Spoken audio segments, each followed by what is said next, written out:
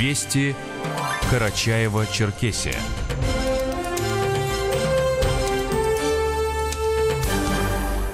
Рита Нерова о некоторых событиях республики. Здравствуйте. И вот некоторые темы. На 95% подготовлен жилищно-коммунальный комплекс Карачая-Чекеси к предстоящим холодам. В школах республики распахнутся 26 новых точек роста. Карачая-Черкесия присоединится к ежегодным экологическим соревнованиям в рамках Всероссийского осеннего Кубка чистоты «Чистые игры».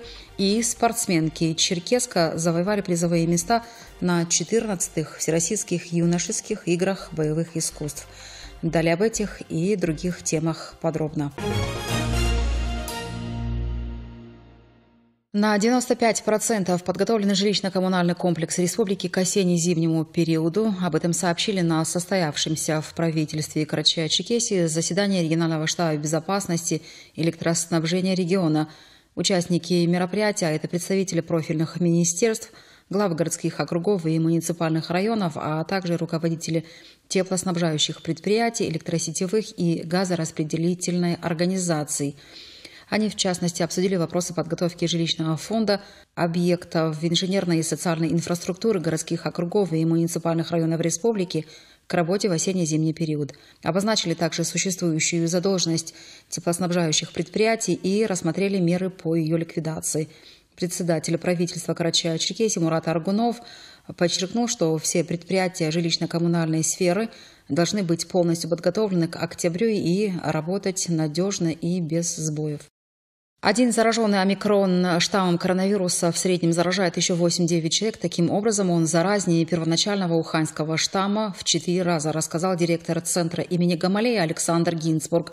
По его словам, именно за счет этого и идет рост заболеваемости и, соответственно, смертности.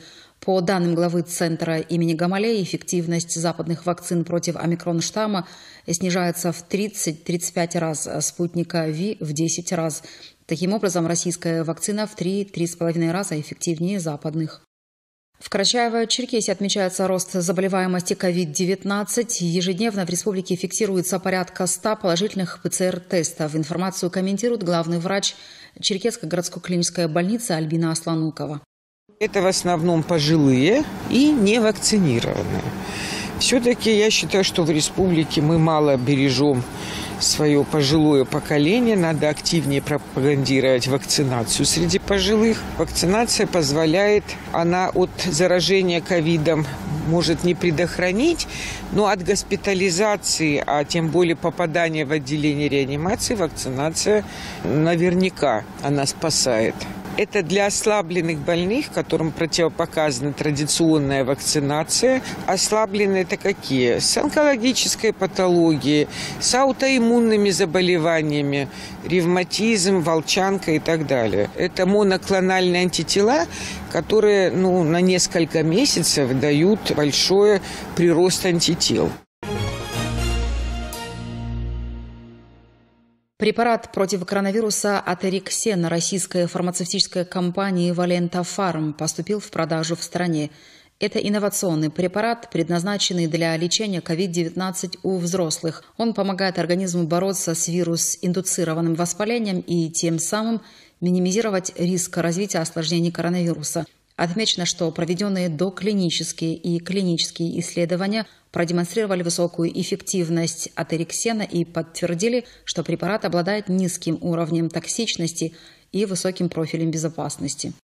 В республике продолжается прививочная кампания против гриппа. Как мы же сообщали, регион получил первые транши вакцин для взрослых и детей Совигрипп и Ультрикс Квадри соответственно. На сегодняшний день провакцинировано более 23 тысяч человек, из них 2854 человека – дети. Всего в наступившем эпидсезоне ОРВИ и гриппа предстоит привить около 60% населения для создания коллективного иммунитета, препятствующего активной передаче и распространению гриппозной инфекции. Штаммовый состав вакцин для нового эпидсезона изменен. Периодическое обновление вирусов, содержащихся в вакцинах против гриппа, необходимо для сохранения их эффективности. Поскольку вирус постоянно эволюционирует. Как обычно, лица из группы высокого риска заболевания гриппом и неблагоприятных осложнений смогут получить прививку бесплатно в соответствии с национальным календарем профилактических прививок. Учитывая, что согласно законам природы и социума заболеваемость будет медленно, но неуклонно расти, следует помнить, что сейчас самое подходящее время для подготовки иммунитета к встрече с гриппозной инфекцией.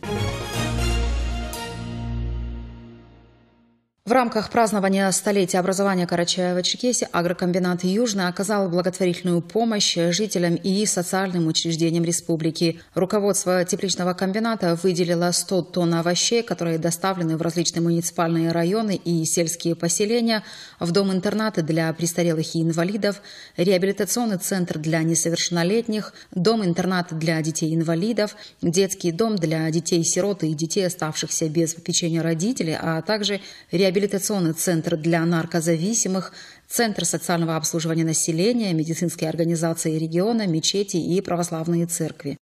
В республике стартовал прием заявок на конкурс «Лучший социальный проект года», победители которого смогут принять участие во всероссийском конкурсе и получить ценные призы. На участие могут претендовать субъекты малого и среднего предпринимательства и некоммерческие организации – Своего рода это уникальная возможность заявить о себе, получить общественное признание, заработать дополнительные бонусы, если в планах есть участвовать в определенных конкурсах на получение грантов. Заявки на участие принимаются до конца октября текущего года по следующим номинациям. Лучшие проекты в сфере поддержки и реабилитации людей с ограниченными возможностями здоровья, здорового образа жизни, физической культуры и спорта – в сфере дополнительного образования и воспитания детей, а также лучшие проекты в сфере социального обслуживания, в культурно-просветительской сфере, в сфере социального туризма и так далее. В Карачаево-Черкесии продолжается прием заявок на конкурс «Гранты Росмолодежь» второй сезон. Победители получат до 1 миллиона рублей на свой социально значимый проект. Конкурсы проходят по 15 номинациям в заочном и онлайн форматах, а также очно на более 70 молодежных площадках. Конкурсы направлены на вовлечение молодежи Российской Федерации в возрасте от 14 до 35 лет в творческую деятельность и социальную практику, а также на повышение гражданской активности, формирование здорового образа жизни и раскрытие потенциала молодежи в интересах развития страны. Информацию комментирует министр по делам молодежи республики Ибрагим Татаркулов. Здесь следует отметить, что есть такие номинации, как «Создавай возможности». В рамках данной номинации это проекты, которые направлены на оказание содействия, занятости и успешной самореализации молодежи в профессиональной деятельности. Данное направление, данная номинация является одной из наиболее важных, одной из наиболее приоритетных и интересных, на которую я со своей стороны хотел бы обратить особое внимание молодежи Карачаево-Черкесской Республики. Затем, помимо этого, есть номинации, направленные на поддержку инициатив в сфере добровольчества. Это такие номинации, как «Объединяй» и «Мы вместе». Следует обратить внимание на то, что в рамках данных номинаций могут получить поддержку как добровольческие движения в лице их лидеров, которые будут подаваться как физические лица на данный грантовый конкурс Федерального агентства по делам молодежи, так и представители общественных объединений, не зарегистрированных как некоммерческие организации, участники которой также могут принимать участие как физические лица, граждане Российской Федерации в грантовом данном конкурсе, о котором мы с вами в настоящее время говорим. Кредитные каникулы позволяют заемщикам в случае сокращения их дохода временно приостановить платежи по кредиту или снизить их размер. Предоставляется такая отсрочка на срок до полугода. Для этого необходимо обратиться к своему кредитору до 30 сентября текущего года. Могут ли жители нашей республики воспользоваться кредитными каникулами, расскажет заместитель управляющего отделением Банка России по Карачаево-Черкесии Рауф Тугов. Воспользоваться кредитными каникулами может любой житель Карачаева-Черкесии, если его доход за предыдущий месяц сократился минимум на 30% по сравнению со среднемесячным доходом в 2021 году. Снижение дохода нужно будет подтвердить документально. Уточнить, какой именно документ необходимо представить в качестве подтверждения, можно непосредственно в банке или микрофинансовой организации МФО. Это может быть, например, документ об увольнении с работы или справка из Центра занятости о постановке на учет в качестве безработного. При этом у кредитора можно узнать, как лучше направить обращение. Принести в офис, либо направить через личный кабинет на сайте или мобильное приложение. В заявлении нужно указать, кто хочет, что хочет получить заемщик – кредитные каникулы или реструктуризацию на условиях банка или МФО. А, право на кредитные каникулы распространяется на все виды кредитов и займов. Главное, чтобы они были выданы до 1 марта 2022 года. При этом правительством установлен максимальный размер кредитов, по которым можно получить отсрочку. Для потребительских кредитов это 300 тысяч рублей, 350 тысяч рублей для индивидуальных предпринимателей. Для ипотечных в Карачаево-Черкесии это 3 миллиона рублей, для автокредитов 700 тысяч рублей и для кредитных карт 100 тысяч рублей. В республике 14 участников преступного сообщества подозреваются в мошенничестве со средствами материнского капитала. Информацию комментирует старший помощник руководителя Следственного управления Следственного комитета России по Карачаево-Черкесии Евгения Перфильева.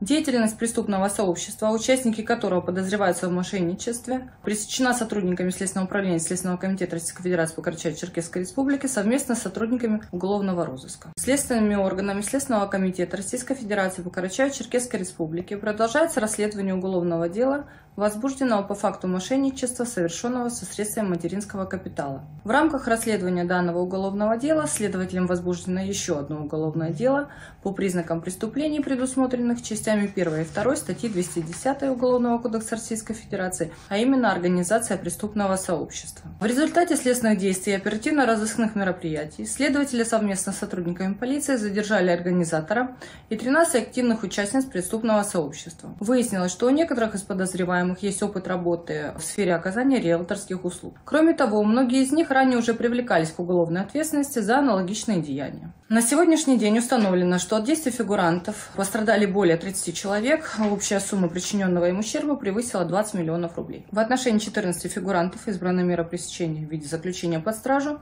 домашнего ареста и запрет определенных действий.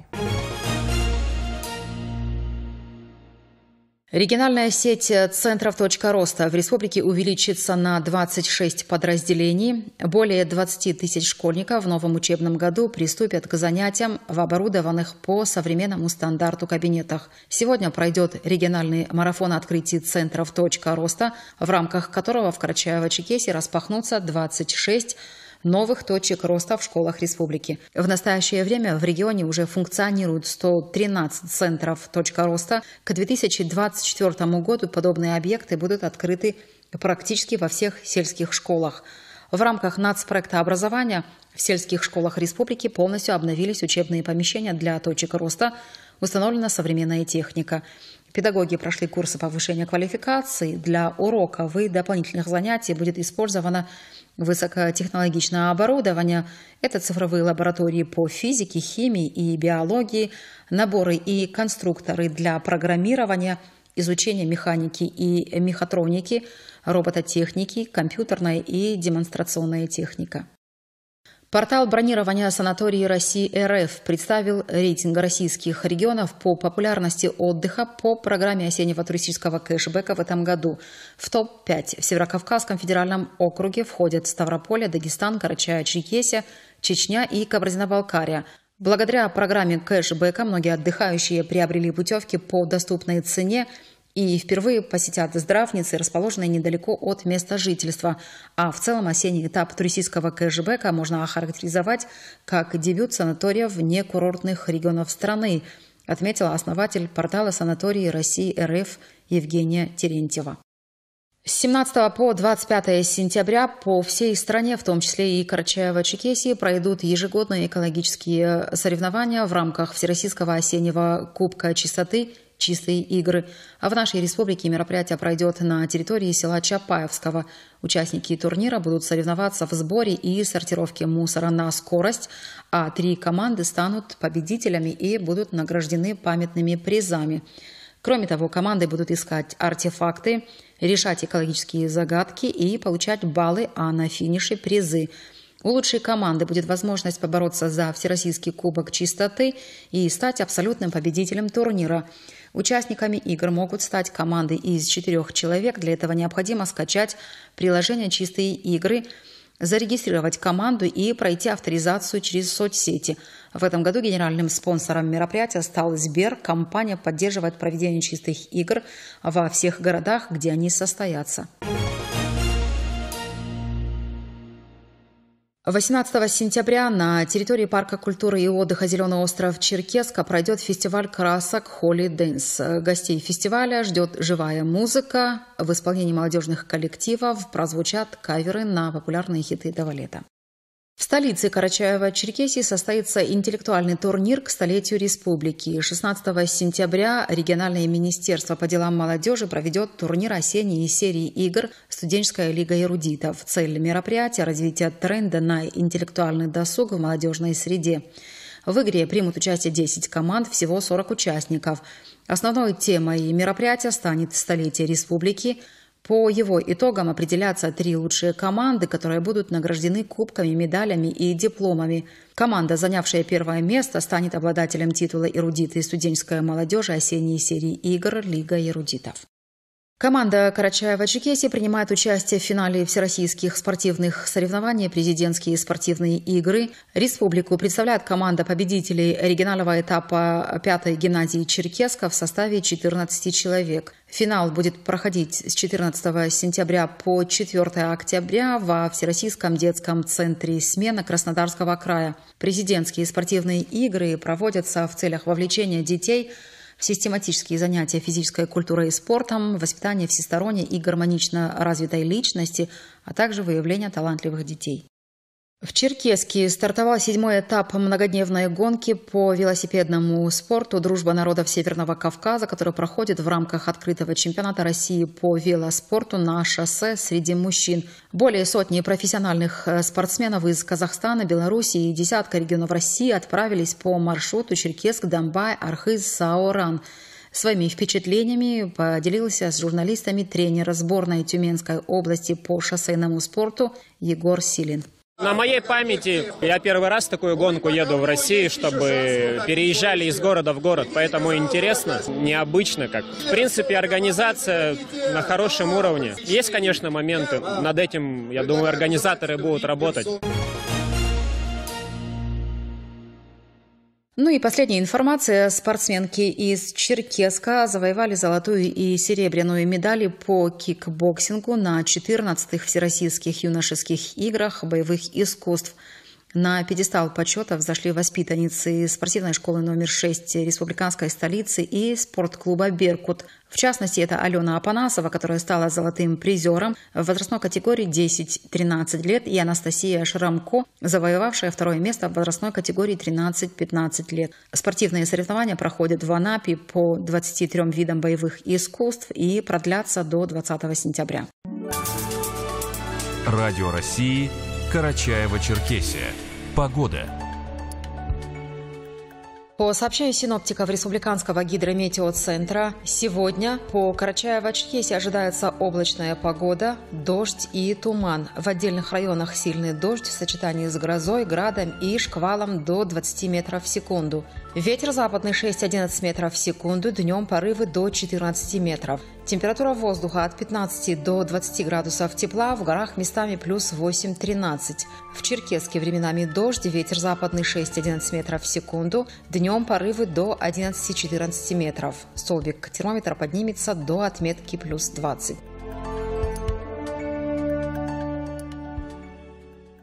На этом информационный выпуск завершен. Его провела Рита Нерова. Вооруженные силы Российской Федерации приглашают на службу по контракту. Военная служба по контракту – это широкие возможности для самореализации, достойный уровень жизни и высокий социальный статус. Сегодня наши военнослужащие выполняют важнейшие боевые задачи. Руководством страны приняты дополнительные меры поддержки участников специальной военной операции. Они наделяются статусом ветеранов боевых действий и получают дополнительные социальные гарантии.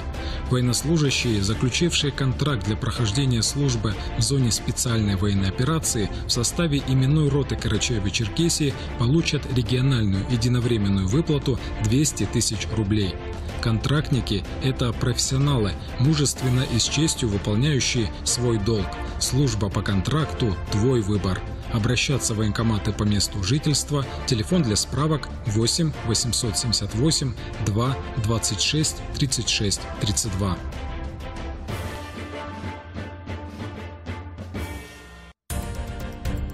Вы слушали Радио России Карачаева-Черкесия.